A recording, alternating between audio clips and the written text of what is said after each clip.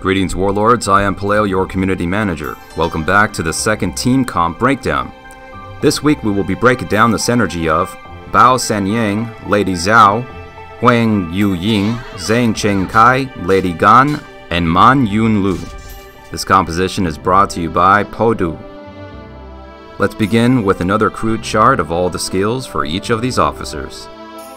Let's explore something new in this video series, starting skills and first hit skills. Starting and first hit skills let you get a quick edge in combat. Take a look at Bao Sanniang's Battlefield Curse. This first hit skill activates once at the start of every wave. This skill unleashes a curse onto her enemies. Moving down to Lady Gan, we can see that she has a start skill called Benevolent Energy. Benevolent Energy causes slump to the entire first row of enemies. Now let's move on to Lady Zhao's first hit skill, Zhao Family Scroll. Zhao Family Scroll activates once at the beginning of every wave. This skill increases Lady Zhao's speed while increasing her allies' fire attack damage.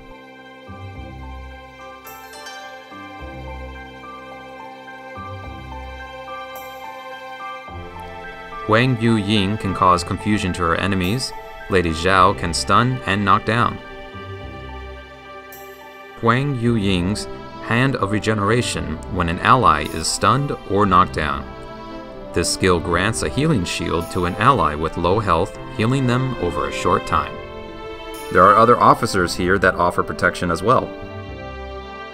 Take a look at Bao Sanniang and Zhang Xing Cai's barrier abilities.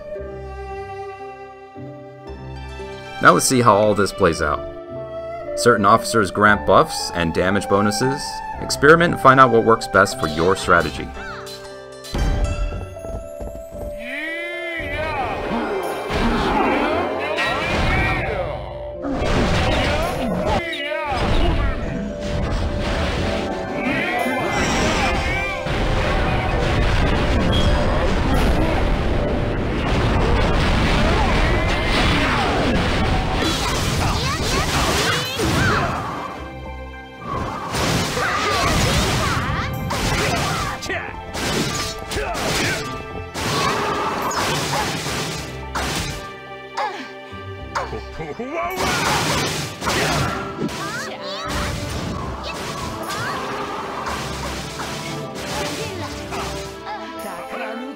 This wraps it up for today's comp breakdown. If you want us to break down your team composition, make sure to drop a comment down below.